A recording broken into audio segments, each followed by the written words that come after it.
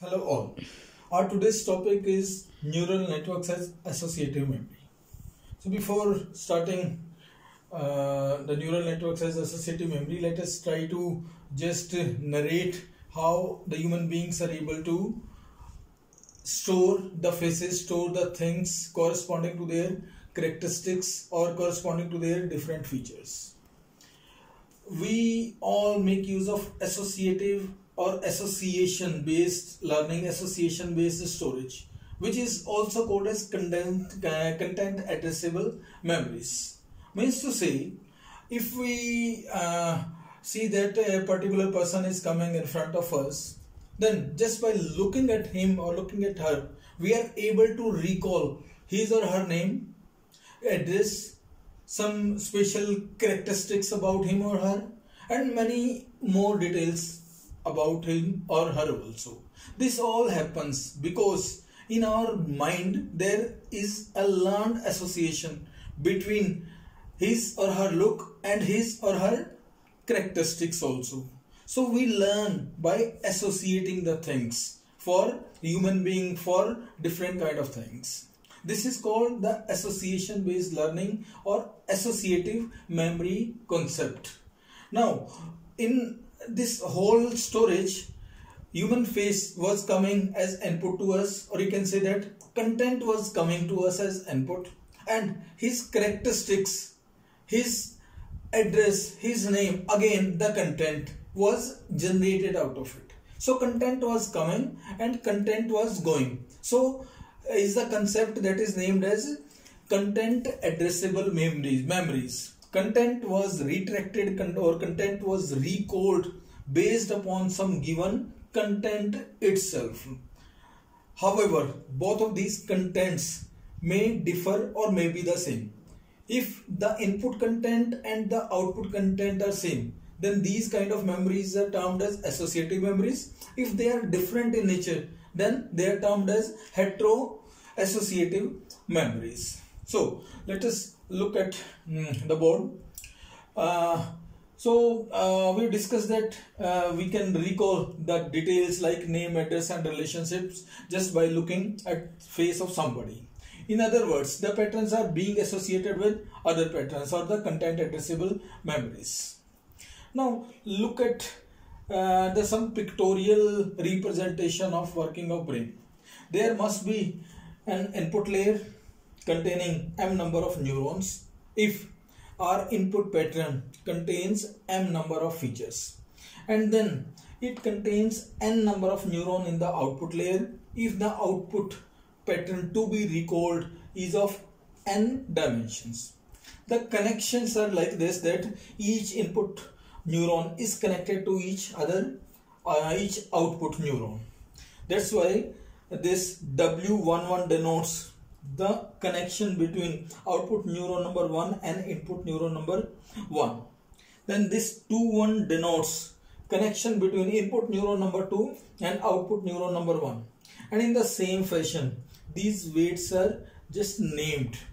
And these are the vectors. This W1 vector represent this weight vector. Means all the weights connected to output number 1. W2 represent all the weights connected to output neuron number 1 neuron uh, output neuron number 2 and this w nth vector represent the weights connected to the nth output neuron. These are self-describable. W11 w21 and w1 they really can be very well understood by just by uh, following the convention of prescript and postscript. Now suppose there are p patterns or we want to learn, we want to associate p number of patterns with uh, with we want to associate p number of patterns. And each of the p patterns is of is containing m number of features. And the output that is expected or that is stored corresponding to a particular dimension contains n number of features. Means we want to store m featured vector with respect to n featured vector. These p number of patterns distributed over m number of features can be represented using this input matrix X. This is pattern number 1 and X11 denotes feature number 1 corresponding to pattern number 1. X12 denotes feature number 2 corresponding to pattern number 1 and X1M denote feature number M corresponding to pattern number 1. In the same way, pattern number 2 is represented and up to pth pattern are represented using this input matrix. Next is the patterns which are expected to be stored corresponding to these are represented using Y. So again there will be there as there are m input patterns so there will be m there will be as there are p input patterns to be stored so it require p output patterns also these P output patterns E where each is of dimension n can be represented using Y matrix. So this is your uh, output corresponding to the first input pattern. Y11 denote feature number 1 of output pattern number 1. Y12 denote feature number 2 of output pattern number 1. This Y1 and denote feature number n that was stored corresponding to pattern number 1. In this way, this matrix contains p number of patterns represented as n featured vector. The pattern storage and the pattern recall are learned by the weight matrix or the weights of these edges. So these are going to be responsible for storage as well as for recalling the patterns. Now let us uh, take an example to understand how these weights are to be adjusted how these weights are to be uh, learned from the given input and output patterns which are to be stored using the associative memories. Assume that initially the weights are all zero. Now uh, pick any uh, pattern that is represented using vector x and as as your input patterns are distributed over m number of features so it will contain n number m number of entries. X11 means first feature of pattern number 1 second feature of pattern 1 pattern number 1 and mth feature of pattern number 1 corresponding to this x there is a y also that is stored here. So corresponding to this x y that is expected to be uh, generated as recode pattern is represented using this vector y where y11 is means uh, first feature corresponding to the output of first pattern second feature corresponding to the output of first pattern and the nth output nth feature corresponding to the output of first pattern. So these are two representation for the patterns to be stored and pattern to be recalled. Now the weight values corresponding to the storage of these the storage of this x pattern will be given by transpose of x vector multiplied by the vector y.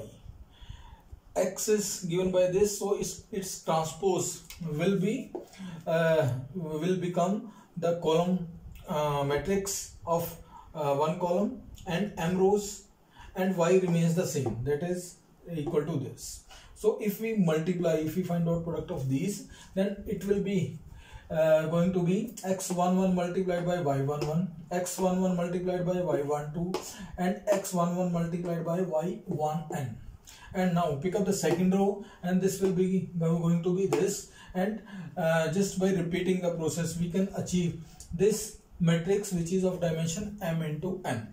Now try to observe the number of weights which are presented which are you can say there in this network uh, these there are m number of neurons and in the input layer n number of neurons in the output layer. Each neuron of the input is connected to the output layer. So it means there are going to be m into n number of total edges present in this network. All those edges are to be weighted using this weight matrix. So this is going to be weight weight matrix corresponding to a single W. Now try to further observe this matrix. This weight uh, uh, vector W1 that is W11 then W21 then WM1 is given by your first column means this column will give you a w1 this will give you a w of 2 and this will be giving you a w of n. So these are the weights to be assigned to this w1 w2 and wnth so our overall aim is to calculate is to obtain this vector w as there are m number of patterns as sorry as there are p number of patterns so this matrix will be calculated for first pattern p first pattern uh, then it will be calculated for the second pattern then it will be calculated for the third pattern as well. It means we will be calculating the weight matrix for first pattern then weight matrix for the second pattern then third pattern and then up to pth pattern we are going to calculate the matrices that was just shown before. After getting these matrices we are going to add them all. As we want to obtain the matrix W which is our final matrix and will be used to recall or to extract back the stored pattern within a neural network. So this is the overall concept of your associative memories. Further, just to repeat, when W was stored suppose when triangle was stored corresponding to the uh, triangle then these networks are called auto associative memories one corresponding to a triangle. A different pattern say rectangle is stored. Then these are termed as hetero associative memories the example we have just looked here falls under hetero-associative memories but the mechanism of learning mechanism of adjusting the weights remains same in auto-associative memories. The only difference is that in the input layer if there are m neurons then in case of auto-associative the output layer will also contain m number of neurons. Rest all the part will remain the same. The next part in this associative memory is our bidirectional memories.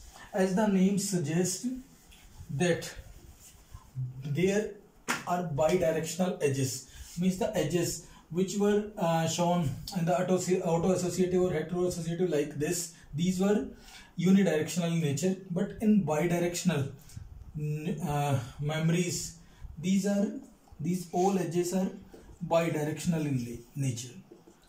Means to say if triangle was stored as rectangle. And if we are able to recall this rectangle corresponding to the triangle then along with this operation we should also be able to extract this triangle if we give rectangle as input. In case of bidirectional associative memories we can recall the output corresponding to a particular input pattern as well as we can extract the input if we are provided with the output pattern. It means it works in both ways. While extracting uh, the output pattern corresponding to input we will go in this direction. And while extracting the input from a given output we go from this direction it means here if weight matrix is represented using w then in the reverse direction the weight matrix will become its transpose. Is become its transpose. In the next lecture, we will try to traverse, we will uh, try to trace uh, the auto-associative, hetero-associative and also we'll try to better understand this bidirectional associative memories in detail and we'll try to trace uh, one example of BAM also.